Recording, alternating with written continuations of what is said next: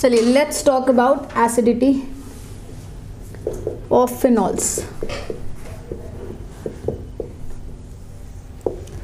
देखिए there are certain things that we have to understand देखिए phenol है हमारे पास इस तरीके से। ठीक है? फिनॉल में कोई एक ग्रुप लगा दिया जाए जी ठीक है? G can be at ortho meta para G can be electron donating g can be electron withdrawing so if i have g which has electron donating group it will going to decrease acidity because acidity is directly proportional to minus i and minus m because you have to stabilize the conjugate base and conjugate base will have a negative charge तो negative charge को कैसे stabilize करोगे electron खींच के है ना if g is electron withdrawing group then there is increase in acidity ये हमें समझ आ गया now one thing that we know is resonance operates at ortho and para while mesomeric operates at meta mesomeric नहीं inductive operates at meta ortho and para what I am trying to say is देखिए ज़रा ध्यान से सुनेंगे मेरी बात। आपने बनाया इसका conjugate base by removal of a proton ठीक है? Conjugate base will have a resonating structures like this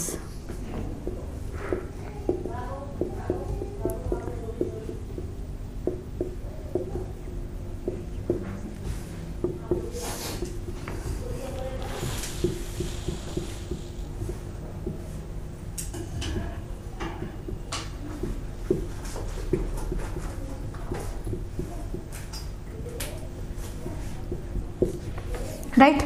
ना अगर आपको कॉन्जुगेट बेस को स्टेबलाइज करना है तो आपको कॉन्जुगेट बेस जो कि रेजोनेट कर रहा है, सबको स्टेबलाइज करना है ना? इसमें आप देख रहे हैं कॉन्जुगेट बेस में नेगेटिव चार्ज ऑसिलेट कर रहा है। और नेगेटिव चार्ज को हम लोग कैसे स्टेबलाइज करते हैं? इलेक्ट्रॉन विड्रॉ करके, ठीक है? सोचिए ज़रा। अगर मेरे पास ये फिनॉक्साइड है, इसके ऑर्थो पे एक बार मैंने NO2 लगा दिया। इसके पैरा पे एक बार NO2 लगा दिया। एक बार मेटा पे लगा दिया, ठीक है? तो इससे इसकी स्टेबिलिटी पे क्या फ़र्क पड़ेगा? ज़रा मुझे ये चेक करना है, ठीक है? ना जब ये ऑसिलेट कर रहा होगा तो नेगेटिव चार्ज जस्ट इसके नीचे आएगा, किसी एक रेजोनेटिंग स्ट्रक्चर में। इसके नीचे कभी नहीं आ पाएगा, क्योंकि मेटा पे तो नेगेटिव कभी आता ही नहीं है, और इसके नीचे भी आएगा, है ना?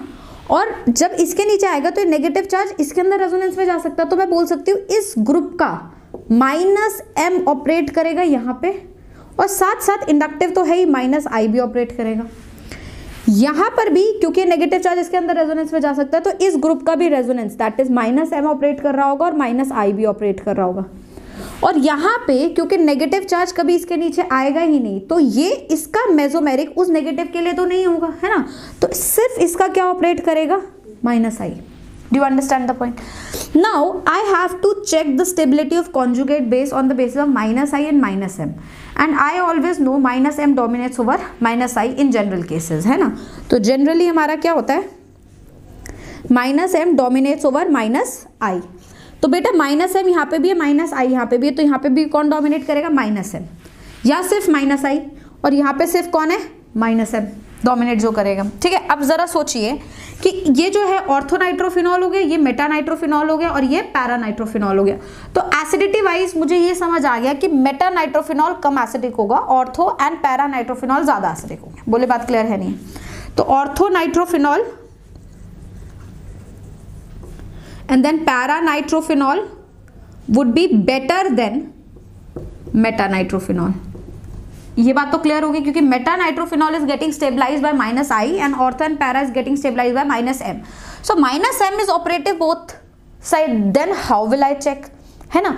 तो अब मुझे क्या चेक करना है? ऑर्थो और पैरा में। हालाँकि अगर मैं माइनस आई देखूँ तो माइनस आई डिस्टेंस के साथ डिक्रीज करता है। मतलब माइनस आई सबसे ज़्यादा किस पे होना चाहिए? ऑर्थो में।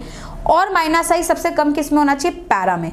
तो माइनस आई के बेसिस पे ऑर्थो नाइट्रोफिनॉल ज़्यादा एसिडिक हो जाना चाहिए। किससे? पैरा नाइट्रोफिनॉल से। देन मेटा नाइट्रोफिनॉल सबसे लास्ट आना चाहिए। मतलब I would be expecting this type of order right but that will not happen by because ortho nitrophenol में there can be a intramolecular hydrogen bonding here, forming a six member.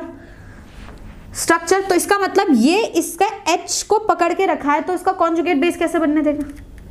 हालाँकि minus I operative है I agree I have no issues with that but the point is minus I operative तब होगा ना, जब इसका H निकलेगा। इसका H निकलने में डिफिकल्टी आएगी because of intramolecular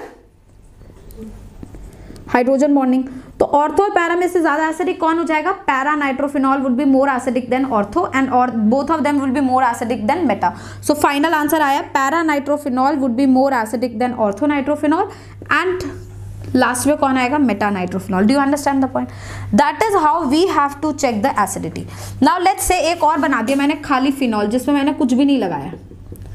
तो जिसपे कुछ भी इफ़ेक्ट नहीं है, वो तो सबसे कम ही होगा ना। सबसे लास्ट में आएगा, चाहे मेटा हो, चाहे उनमें एटलीस्ट माइनस आए तो लग ही रहा है। तो they all would be better than phenol. Now, what they can ask you in the question is, instead of asking you direct acidity order, they can ask you ka order. Because जितना ज़्यादा ka होता है, उतना ज़्यादा acidic होता है। तो ये ka का भी ऑर्डर हो सकता है। या फिर अगर ये आपसे पूछ सकते हैं pka का ऑर्डर तो pka का order would be inverse of that of acidity do you understand the point right any doubt see है। लेट्स से फिनॉल पे हमने एक ग्रुप लगा दिया है ऑर्थो पे O C H three then we have meta पे O C H three then we have para पे O C H three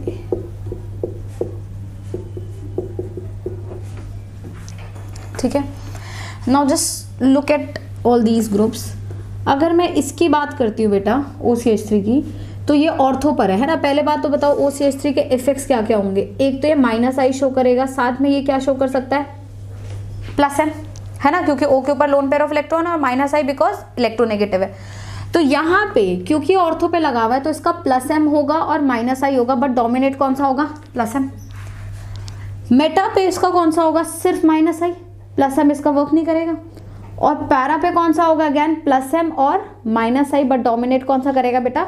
Plus M. Do understand the point ना इन तीनों में से ऑर्थो मेटा और पैरा में से हमें पता है इलेक्ट्रॉन विड्रॉइंग ग्रुप जो होता है एसिडिटी को बढ़ाता है मतलब सबसे ज़्यादा एसिडिक कौन सा होगा? मेटा क्योंकि इन दोनों पे तो प्लस एम है प्लस एम तो इलेक्ट्रॉन डोनेशन होता है। तो सबसे ज़्यादा स्ट्रॉन्गर एसिड कौन सा होगा? मेटा वाला। उसके बाद ऑर्थो और पैरा में से कंपेयर करना है। ऑर्थो पैरा पे प्लस एम तो दोनों जगह जो एसिडिटी को कम कर रहा है। बट माइनस आई भी दोनों जगह जो एसिडिटी को बढ़ा रहा है। है ना? अब माइनस आई यहाँ पे मिनिमम होगा, क्योंकि डिस्टेंस के साथ माइनस आई क्या करता है? डिक्रीज करता है। तो माइनस आई कहाँ पे ज़्यादा होगा? ऑर्थो पे ज़्यादा होगा। तो ortho would be a better acid compare to para बोलो बात क्लियर हुई नहीं हुई? एनी डाउट नहीं हो सकती। पूछे क्यों? आप देखिए एक बार। ये O ये H ये आपने ओ सी एच थ्री बना दिया है ना? तो आप इस तरीके से हाइड्रोजन बॉन्डिंग करेंगे। ये कितना मेंबर रिंग बन रहा है? Five one two three four five five member ring में इतना अच्छा रिलेशन नहीं होता जितना सिक्स मेंबर में होता है। इसलिए अगर आपने नोटिस किया हो तो जब मैंने NO2 लगाया था तो I am not doing from nitrogen I am doing with oxygen so that I can have a six member straight now in intramolecular hydrogen bonding जब तक इंट्रामोलिकुलर नहीं होती, जब तक चिलेशन अच्छा ना हो। चिलेशन मतलब अंदर जो रिंग बन रहा है वो अच्छा नहीं है। और सबसे अच्छा रिंग कौन सा होता है? सिक्स मेंबर का। इसलिए वहाँ पे ओ में हाइड्रोजन बॉन्डिंग एग्जिस्ट नहीं करेगी with oxygen do you understand the point तो हाइड्रोजन बॉन्डिंग एग्जिस्ट नहीं कर रही। तो अब हमें क्या देखना है? प्लस एम तो दोनों जगह ही है तो I have to look for minus I और माइनस आई किसका बेटर होगा? ऑर्थो का बेटर होगा किससे? पैरा से. अब सोचिए, एक फिनॉल नॉर्मल भी दे देते हैं। तो ये फिनॉल कहाँ आएगा? ये कहाँ पर इसको एडजस्ट करोगे? ये किससे ज़्यादा एसिडिक और किससे कम एसिडिक मेटा से तो ज़्यादा मेटा से कम एसिडिक क्योंकि मेटा में माइनस आई लग रहा है और ऑर्थोपैरा से ज़्यादा एसिडिक वाई क्योंकि उनमें प्लस एम लग रहा है ना? तो normal phenol will come somewhat here so actual order हो जाएगा meta phenol and then normal phenol then ortho substituted and least one would be para substitute do you understand the point now similarly मैंने यहाँ पे क्या करना है बेटा? ये फिनॉल है, इस पे सी एच थ्री लगा देना है। ठीक है? तो ऑर्थो पे सी एच थ्री लगा दिया। फिर मेटा पे सी एच थ्री लगा दिया और फिर पैरा पे सी एच थ्री लगा दिया। फिर एक नॉर्मल फिनॉल भी ले लिया यहाँ पे। ठीक है? अब ज़रा एक बात मेरी समझेंगे यहाँ पे।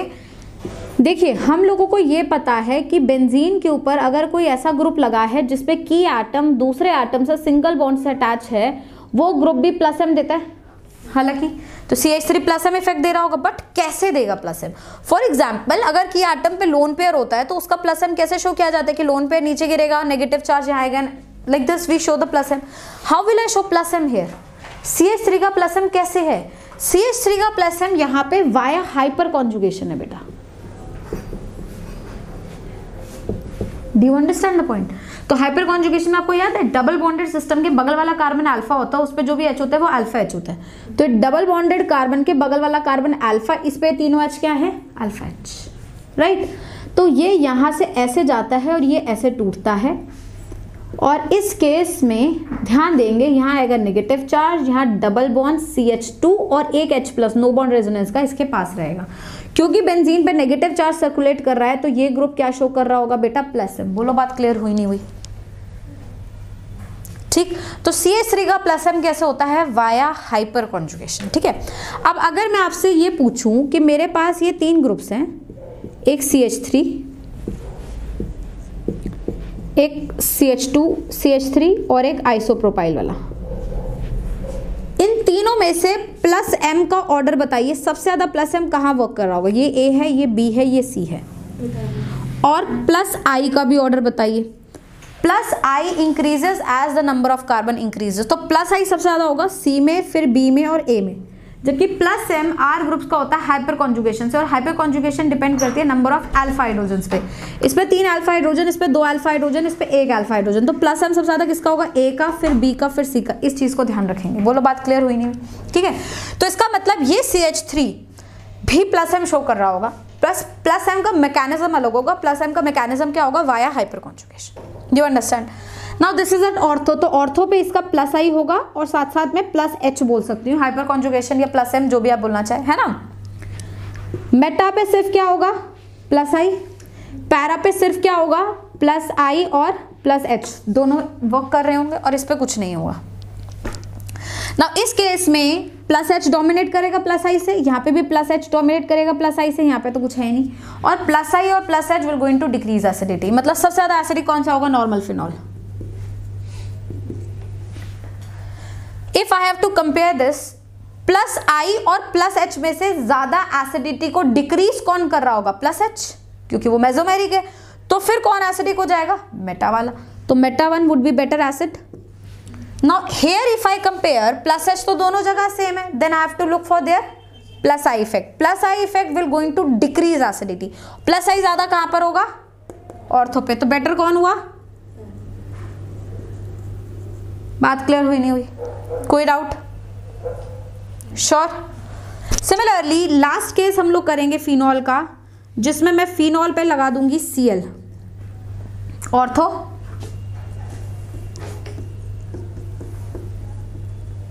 meta para like this ठीक है? And then we have a normal phenol अब अगर बेटा क्लोरोबेंजीन की बात की जाए तो क्लोरोबेंजीन पे, ये मैंने तुम्हें पता नहीं समझाया नहीं समझाया बट ध्यान रखना इस चीज़ का कि लोन पेयर तो है। मतलब ये प्लस एम तो शो कर ही सकता है। कोई दिक्कत नहीं है प्लस एम शो करने में। साथ साथ इलेक्ट्रोनेगेटिव है तो माइनस आई भी शो करेगा। बट इसका प्लस एम में जब यहाँ पाइबॉन्ड बन रहा होगा तो पाइबॉन्ड इसके थ्री पी और इसके टू पी के बीच में बनेगा which is ineffective overlap of pi bond तो सिर्फ़ हैलोजेंस के केस में, चाहे क्लोरीन नहीं फ्लोरीन ब्रोमीन आयोडीन भी एग्जिस्ट करता है only in case of halogens your minus I always dominates over plus M तो अगर आप याद करेंगे, इससे पहले मैंने लिखा था in general mesomeric dominance over inductive in general not always because in case of halogen your inductive is much more dominative over plus M क्यों? सोचिए, अगर आप फ्लोरीन लगा दें तो आप कहेंगे, मैडम, टूपी टूपी तो ओवरलैप करेगा लेकिन फ्लोरीन इतना इलेक्ट्रोनेगेटिव है, क्या आपने टू पी से ओवरलैप करने देखा? अपने लोन पेयर को गिरने देखा? नहीं गिरने देगा तो हो हो सकता है प्लस एम हो सकता है, ऐसा नहीं नहीं होगा। बट डोमिनेट क्या कर रहा होगा? इंडक्टिव तो इन हैलोजेंस के केस में हमेशा मेजोमेरिक के ऊपर इंडक्टिव जो है डोमिनेट करता है। तो मेजोमेरिक ऑपरेटिव होगा। तो यहाँ पर मेरा माइनस आई और प्लस एम लग रहा होगा। बट डोमिनेट कौन सा करेगा? माइनस आई यहाँ पर तो सिर्फ़ माइनस आई लगता है। और यहाँ पे भी माइनस आई और प्लस एम लग रहा होगा, पर फिर से डोमिनेट कौन करेगा? माइनस आई मतलब मुझे इन तीनों में माइनस आई देखना है। डोमिनेटिव इफ़ेक्ट और minus I will going to increase acidity मतलब फिनॉल सबसे कम कम जो है एसिडिक होने वाला। तो सबसे बेकार तो फिनॉल ही हो गया। एसिडिटी में। इन सब में माइनस आई लग रहा है you know minus I decreases with distance तो सबसे स्ट्रॉन्ग माइनस आई किस पे है? ऑर्थो पे। तो ऑर्थो सबसे ज़्यादा? फिर मेटा और लास्ट में कौन आएगा बेटा? पैरा बोलो बात क्लियर हुई नहीं हुई।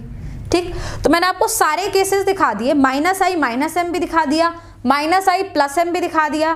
प्लस आई प्लस एम भी दिखा दिया। माइनस आई प्लस एम भी दिखा दिया, जिसमें माइनस आई डोमिनेट कर रहा है। बात क्लियर होगी? तो अब आपको सिर्फ़ अपने ग्रुप्स को देखना होता है कि आपका ग्रुप्स कौन सी कैटेगरी में आ रहा है। जिस भी कैटेगरी में आ रहा है, उस हिसाब से आप इसके अंदर क्या कर दीजिए? प्लग कर दीजिए। Do understand the point any doubt